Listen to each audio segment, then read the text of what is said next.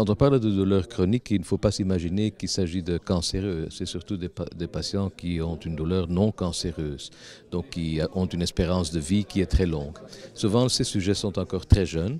Euh, il y a beaucoup de douloureux chroniques du dos. Hein.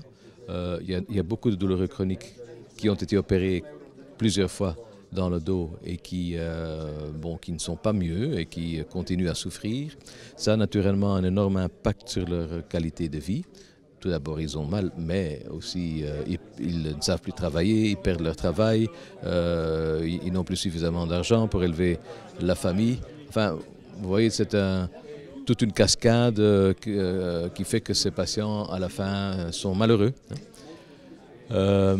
Il y a naturellement aussi des, maladies qui peuvent, des maladies chroniques non cancéreuses qui peuvent mener à une douleur, chronique, comme par exemple les diabétiques. Il y a beaucoup de diabétiques souffrent de ce qu'on appelle la polyneuropathie diabétique, qui est une douleur, une douleur, neuropathique dans les membres inférieurs, parfois aussi membres supérieurs, euh, supérieurs, qui est très gênante et qui est très douloureuse.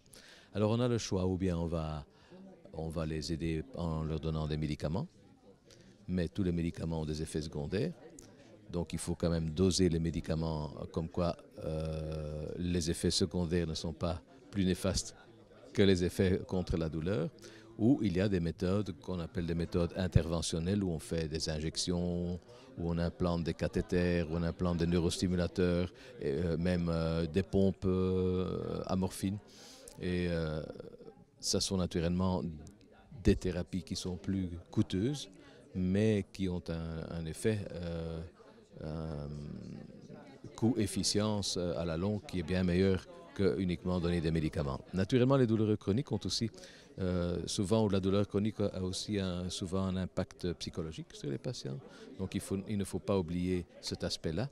Il faut traiter ces patients d'une façon multidisciplinaire où on, tient aussi compte de la situation psychologique du patient et un follow-up, euh, un suivi psychologique est souvent nécessaire chez ces patients.